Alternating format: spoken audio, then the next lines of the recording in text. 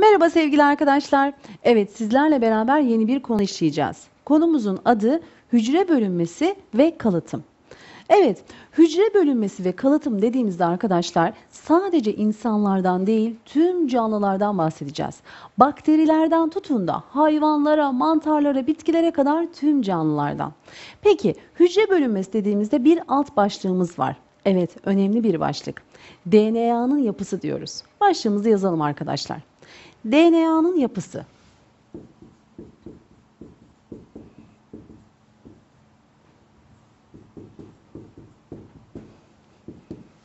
Evet, sevgili arkadaşlar, şimdi hücremizi işlemiştik. Hücrenin ne olduğunu, tüm canlılarda bulunduğunu, işte bitkiler, hayvanlar, insanlarda bulunduğunu, işte bitkilerde ve hayvanlarda farklı farklı hücre çeşitleri bulunduğundan bahsetmiştik. Hücrelerdeki değişik organellerden de bahsetmiştik. Ama hücrede bulunan en önemli yapıdan bahsetmemiştik. Yani DNA'dan.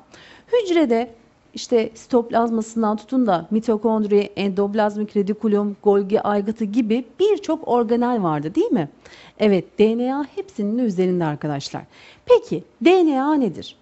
DNA bir canlının kalıtımını sağlayan yerdir. Evet, DNA hücrede bulunur sevgili arkadaşlar. Peki bununla ilgili bazı bilgiler verecek olursak. Evet, DNA hücrelerin içerisinde bulunan, not olarak yazalım.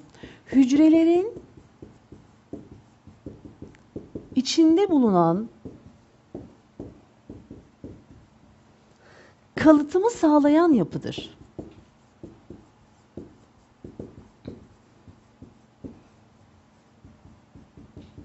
Evet, kalıtımı sağlayan yapıdır arkadaşlar. Ve bunun içerisinde neler vardır? Şimdi DNA dediğimizde 3 tane harften oluşuyor öyle değil mi? Ancak canlıların bütün vücut organlarındaki bütün hayati faaliyetleri sürdürebildiği, yönetebildiği yerdir sevgili arkadaşlar DNA'lar. Peki DNA'ların yapısını inceleyecek olursak DNA'ların içinde ne vardır? Bir kere bizim vücudumuzda bulunan bütün hayati organlarımızın özellikleri DNA'daki kodlarda gizlidir. Yani bir canlının ta ki anne karnında bir veya bitki ise tohum olarak onun ne kadar büyüyeceği, mesela insanlardan bahsedelim. Göz renginin, saç renginin, kirpik uzunluğunun, tırnaklarının şeklinin, ayaklarının boyutunu ve bunun gibi bütün her şeyin neyi arkadaşlar kodu DNA'larda gizlidir. Peki DNA yapısını inceleyecek olursak bakın not olarak verecek olursak DNA'da milyonlarca nükleotit bulunur.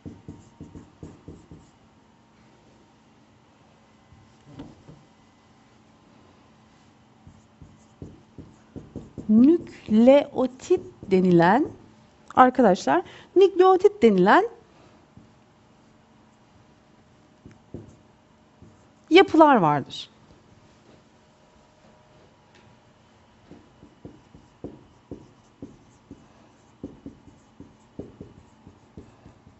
Şimdi arkadaşlar nükleotit DNA'nın yapısında vardır dedik. Peki nükleotit nasıl bir yapıda bulunur? Bununla ilgili şimdi size bazı e, durumlar vereceğiz ve bazı şekiller çizeceğim. Nükleotitler bazlarla içerisine bir baz, bir deoksiriboz şekeri ve bir tane fosfatta oluşur ve birbirine birleşiktir arkadaşlar. Bunları sizlerle paylaşacak olursak bakınız bir nükleotitte ne dedik? Bir DNA'da milyonlarca nükleotit var. Bir nükleotitte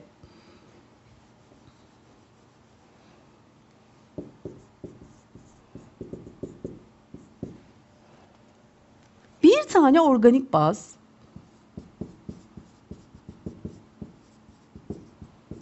artı bir tane deoksiriboz şekeri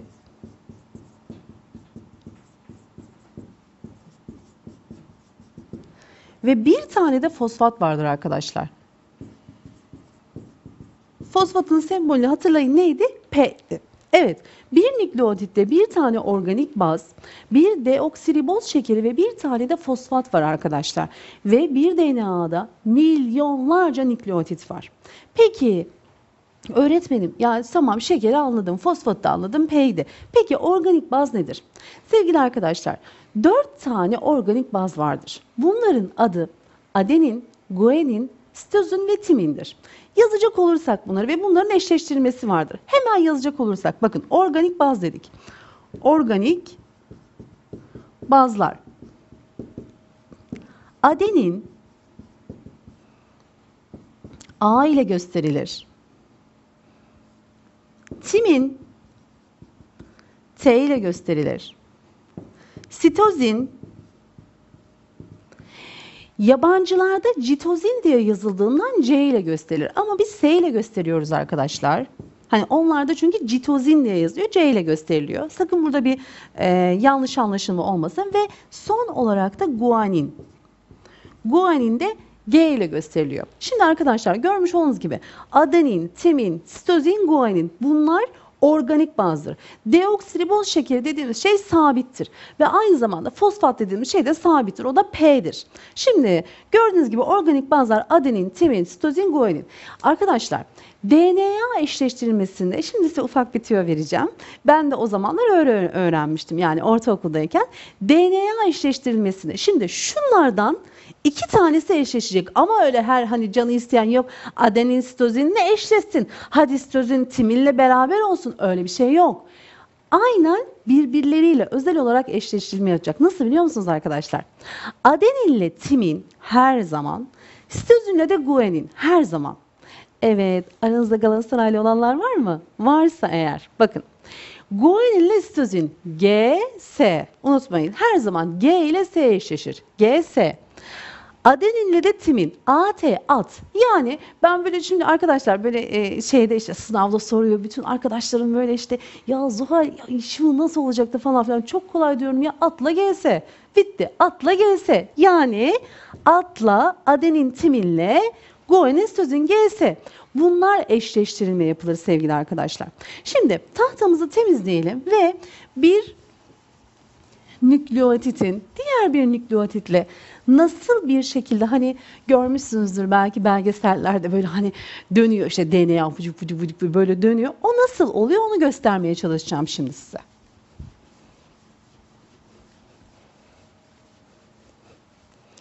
Evet. Şimdi arkadaşlar ne dedim? Bir tane fosfat P. Bir tane dedim ki size deoksiriboz şekeriyle birleşiyor. Bu da deoksiriboz şekeri. Ve bu da ne oluyor arkadaşlar? Adeninle birleştireyim. Bakın adenin. Evet. Şimdi bakın ne oluyor? Adeninle birleşti. Şurada bir tane daha yapıyorum. Bakın aynı bu bir nükleotit. Bakın şu görmüş olduğunuz bir tane nükleotit. Şimdi bir nükleotit daha koyuyorum. Bakın timin koydum. Eşleştirme yapıyorum. Timinin yanına ne olacaktı sevgili arkadaşlar? Şöyle yapalım. Timinin yanına ne olacaktı? Bakın hemen yanına deoksiriboz şekeri. Ve arkasından fosfat. Bakın dikkat ediyor musunuz arkadaşlar? Bakın hop eşleşti. Adeninle timin. Devam edelim. Şimdi bakın. Fosfat ya. Fosfatı getirdim. Yine ne var? Deoksiriboz şekeri var. Getirdik. Ve arkasından sitozini koyuyorum. Hadi şuraya da guanini koyuyorum. Arkasından yine deoksiriboz şekeri ve arkasından fosfat. Evet. Bakın yine ne oldu arkadaşlar? Eşleşti. Şimdi diyeceksiniz ki bakın nasıl gidiyor? İşte hani böyle sizin o döndü böyle hani dönüyor dönüyor DNA dönüyor ya sevgili arkadaşlar. Bunun böyle devam ettiğini düşünün ama milyonlarca, milyonlarcasının böyle devam ettiğini düşünün. Biz sadece şu an ne yaptık? Sadece iki tanesini yaptık. E şimdi dönme böyle gitmiyor. Bakın arkadaşlar şöyle hani merdiven gibi merdiven gibi gidiyor. Eminim bunu belgesellerde görmüşsünüzdür. Bakın bu şekilde devam ediyor. Neymiş o zaman? Bir tane fosfat, bir tane deoksiriboz şekeri ve bir tane organik baz bir nükleotiti oluşturuyor. Görmüş olduğunuz gibi bakın bir tane adenin neyle birleşti? Bakın dikkat edin. At, GS, at, GS. Bu şekilde devam eder arkadaşlar. Ve Her 1000-1500 tane nükleotit bir tane geni oluşturur. Ne gen? Ne geni mesela? Mavi göz geni, ela göz geni, sarı saç geni, kızıl saç geni, yuvarlak dil geni veya geniş dil geni veya arkadaşlar hani şu kulak memelerinin yapışık olduğu gen, kulak memelerinin ayrı olduğu gen. Yani o kadar fazla gen var ki arkadaşlar. Bir kitapta okumuştum. Sadece ve sadece burnun şekliyle ilgili olarak 2 milyon 500 bin tane gen olduğunu biliyor muydunuz? Bakın düşünün sadece bir burnun şekliyle ilgili. Buna bir vücudunuza yayacak olursanız hani e, bunu da yine bir kitapta okumuşum. İşte şimdiye kadar dünyaya gelen milyarlarca insanın hiçbirinin birbirine benzemediği, parmak uçlarının birbirine benzemediği ne kadar ilginç bir şey. Ama bunun sebebi nedir? Sadece ve sadece Tabii ki bunu eğer bizim inançlarımıza bağlayacak olursak sadece ve sadece bir burun geni düşünün iki buçuk milyonsa kulak geni, tırnak geni, tırnak uzunluğu, ayak uzunluğu, bacak uzunluğu dediğinizde ne kadar çok genin ortaya çıkacağını bir düşünün. Evet sevgili arkadaşlar burada da ne yaptık? Biz neyimizi gördük? Ee, nükleotitlerin dizilişinin nasıl olduğunu gördük. Şimdi bundan sonra ne yapacağız? Başka bir konumuza geçeceğiz ve bu konumuzda da sizlerle genleri işleyeceğiz. Ne yaptık? Organik baz olarak adenini, timini, sitozini ve gu- guanini öğrendik. Evet sevgili arkadaşlar, sizlerle beraber DNA'nın yapısını öğrendik. DNA'nın yapısında neler bulunduğunu, şekerlerin, fosfatların nasıl dizildiğini öğrendik. Hadi bakalım bununla ilgili tekrar yapın. Kolay gelsin.